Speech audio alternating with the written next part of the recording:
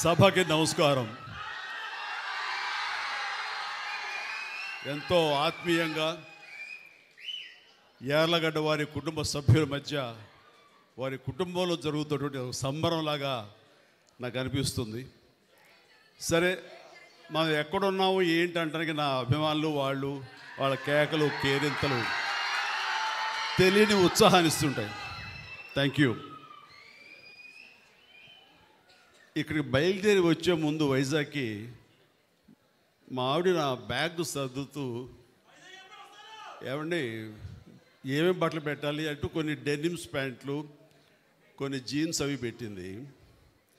చూడగానే నాకు మిత్రులు ఏర్లగడ్డ ప్రసాద్ గారు ఆయన ఆంగికం ఆయన వేషధారణ తెలుగుదనం గుర్తొచ్చిన తర్వాత మనం డెనిమ్స్ ప్యాంట్లోని వాటిలైతే చాలా అసహ్యంగా ఉంటుంది. పంచి కట్టుకుని వెళ్తే ఎలా ఉంటుందని. మీరా? పంచ? ఎప్పుడు కట్టలేదు కదా అంటే నిజమే నేను ఎప్పుడు ఇలా పంచి కట్టుకుని ఏదో ఇంట్లో కూర్చొని పూజ చేసుకుంటున్నానేమో కానీ ఇలా బయట సభలకు వచ్చి ఇట్లా మాస్ పబ్లిక్ ముందు ఎప్పుడు నిలబడలేదు. కానీ జాగ్రత్త అంటే ఎప్పుడైనా అలవాటు లేక తడబడి కాలు జారుతారేమో అంది. కాలు జారటమా? ఏంట భాష నాకు తడబడి పడతారేమోనని. పర్లేదు ఎవరో పక్కన ఉంటే పట్టుకుంటాను అన్నాను. సరే అయితే ఆ రకంగా ఈ రోజున ఇది వేసుకుని వచ్చాను. వచ్చిన దగ్గర నుంచి చిన్న టెన్షన్ వెనకాల ఏదో కొంచెం లూజ్ అయినట్టుంది నాకు. ఊ- ఊడిపోతుందేమోనని మన కృష్ణదేవరాయలు గారు చెప్తాను నేను వెళ్ళి వచ్చాము వెనక చూస్తున్న బాబు ఏదైనా జారిపోతే చెప్పి సర్దించుకుంటారని చెప్పేసి. సో అలవాటు లేకపోయినా సరే కొన్ని కొన్ని అలవాటు చేసుకోవడం ఎంత అత్యవసరం అది ఎంత సంతృప్తినిస్తుంది అనేది అంత ఇంత కాదు. ఈ రోజున ఇక్కడికి వచ్చానంటే కనుక యార్లగడ్డ లక్ష్మీప్రసాద్ గారు షార్ట్గా వైఎల్పి అనేస్తాం మేము.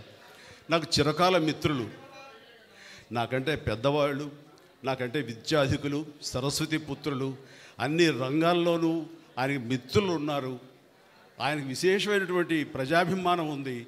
ప్రపంచవ్యాప్తంగా తెలుగు వాళ్ళు ఎక్కడికి వెళ్ళినా సరే వైఎల్పి గారిని చూసి అభిమానించిన వాళ్ళు ఆయన చూసి ఆకట్టుకునే వాళ్ళు ఎవ్వరు ఉండరు. అలాంటి అత్యద్భుతమైనటువంటి పర్సనాలిటీ ఆయన. సాహిత్యపరంగా కానివ్వండి రాజకీయంగా కానివ్వండి ఏ రకంగా చూసుకున్నా సరే ఆయన ప్రేమతో కానివ్వండి అందరినీ ఆకట్టుకునేంత గొప్ప మనస్తత్వం ఆయనది.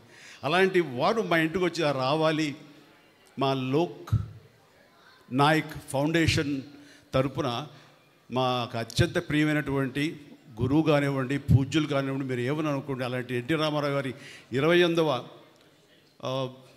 పుణ్యతిథి రోజున అంటే వర్ధంతి దినాన ఆయన సెంటినరీ కన్ను కొనసాగిస్తూ అలాగే అక్కడిని నాగేశ్వరరావు గారి సెంటినరీ అని ప్రారంభిస్తూ అది కూడా కొనసాగించే దిశగా ఇద్దరు మహానుభావులు మహానటులు మహా వ్యక్తులు మనకు ఆద్యులు పూజ్యులు అందులో మీలాంటి వాళ్ళకి మరీ సినీ రంగంలో అత్యంత కావలసిన వాళ్ళు కాబట్టి మీరు రావాలనగానే ఏమాత్రం సంకోచించకుండా ఇది గొప్ప అవకాశంగా అనిపించింది. ఆయన పద్దెనిమిదో తారీఖు వస్తే బాగుంటుందంటే అనుకోకుండా పద్దెనిమిది తారీఖు ఇంకొక పని ఏర్పడేసరికి నేను one or two days delay చేయించాను ఏం పర్వాలేదు. పంతొమ్మిది సంవత్సరాలుగా పద్దెనిమిదో తారీఖున జనవరి చేస్తూ వచ్చావు. మీలాంటి వాడి కోసం వన్ ఆర్ టూ డేస్ అంటే వన్ మంత్ అని పోస్ట్పోన్ చేస్తారంటాం వారికి నా పట్ల నా అభిమానానికి నేను రావాలి అని గట్టిగా ఆయన సంకల్పానికి అది నిదర్శనం. ఈ రోజున నేను ఎంతో సంతోషంతో వచ్చాను. అంతకంత ఆనందంతో ఇక్కడికి ఇక్కడి నుంచి వెళ్తానని అనుకుంటున్నాను. ఇక రామారావు గారి గురించి పూజ్యులు యుగ పురుషులు అండ్ మాలాంటి వాళ్ళకి దైవ సమానులు అలాగే అక్కడి నాగేశ్వరరావు గారు అదేవిధంగా ఆయన మాకు పూజ్యులు మాకు ఆరాధ్యులు. అలాంటి వారి గురించి ప్రత్యేకంగా తెలియనిది ఎవరికి ఏమని చెప్పాలి ఎంత అని చెప్పాలి?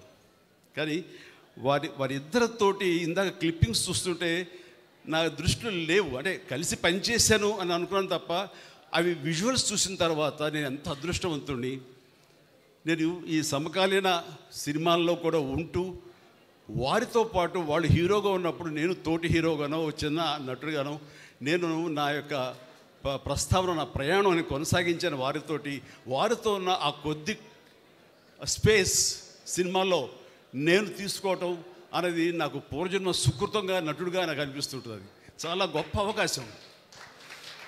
ఆ సమయంలో నాకు వాళ్ళతో జరిగే సంభాషణలు మాత్రం షేర్ చేసుకుంటాను. ఇవి ఇంతవరకు ఎప్పుడు బయటకు రాలేదు కాబట్టి కొంచెం వినడానికి బాగానే ఉంటుంది. లేదంటారా వారిద్దరూ సమంగా ఒకేసారి వచ్చారు ఈ ఫిల్మ్ ఇండస్ట్రీకి. నాగేశ్వరరావు గారు వన్ ఆర్ టూ ఇయర్స్ ముందు వచ్చి ఉంటే ఆ తర్వాత రామారావు గారు వచ్చారు. నాగేశ్వరరావు గారు పౌరాణిక చిత్రాల ద్వారా ఆయన డెబ్యూ ఫిలిమ్స్ సో ప్రవేశిస్తే సినిమాల్లోకి ఈయన మన దేశం అని నాగేశ్వర మన రామారావు గారు సాంఘికంలో ఈయన సినిమాల్లో ప్రారంభించారు.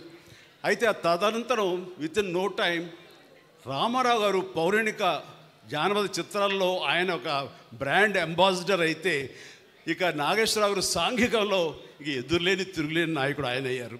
అలాగా ఆదరణ ప్రకారం ప్రేక్షక ఆదరణ ప్రకారం వాళ్ళ యొక్క గమ్యాన్ని మార్చుకుంటూ వాళ్ళ ఆదరణ ఏ సినిమాల్లో ఏ కథల్లో ఉంటుందో ఆ రకంగా వాళ్ళు కొనసాగిస్తూ ఈ రోజున పరిశ్రమకి ఇద్దరు రెండు నేత్రాలు రెండు కళ్ళు అని అనిపించుకుంటున్నారు. మాలాంటి వాళ్ళం వాళ్ళు ఇంకా ఆరాధనాపూర్వకంగా చూస్తున్నామంటే అది మన తెలుగు కళామ తల్లి చేసుకున్న పుణ్యం అలాంటి బిడ్డల్ని కనటం. వారి తరపున తరువాత వారితో నటించడం అన్నది నాకు కలిగిన ఒక భాగ్యం అది. రామారావు గారితో నేను చేసిన సినిమా ఎదురులేని మనిషి తిరుగులేని మనిషి. ఇందాక సినిమా చూసాం చిన్న బిట్టు. చూసినప్పుడు అందులో ఒక టేబుల్ ఉంటుంది డైనింగ్ టేబుల్ మీద ఇద్దరు కలిపి ఫైట్ చేస్తూ విలన్స్ మీ ఇద్దరం కొడుతూ అక్కడి నుంచి దూకాలి మూడు అడుగులే కదా అనే ఉద్దేశంతో ఆయన చేయించి పెట్టి ఇద్దరు కలిపి జంప్ చేసి దూకాలి నేను దూకిస్తాను ఆయన ఆగిపోయా బ్రదర్ ఏమే? ఏమది? అన్నారు. ఏంటి సార్ అన్న అలా దూకేస్తే అట్లాగా అన్ని డూపులు చేసుకుంటారు. మనం ఊనే. అలా ఊపిస్తే సరిపోతున్నాను నాకు ఎవరు చెప్పలేదండి. దూకిస్తేనాను మూడు అడుగులే కదా అని దూకానన్నాను లేదు బ్రదర్ ఆర్టిస్ట్ చాలా విలువైన జీవితం.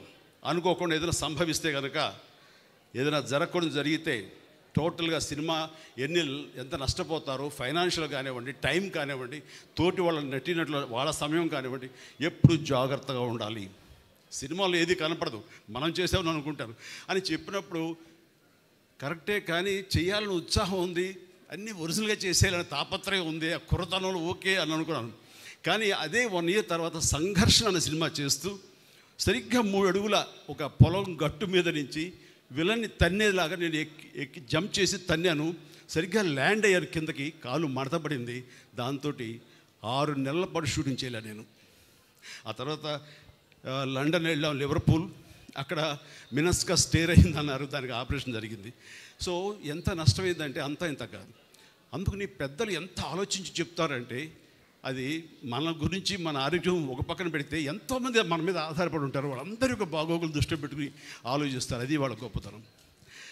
ఆ తర్వాత ఆయనతో కూర్చున్నప్పుడు మామూలుగా ఈవినింగ్ అయ్యేసరికి బజ్జీలు గిజ్జీలు వచ్చేస్తాయి. ఇంత బాసుమతి ఇది వస్తుంది. ఇది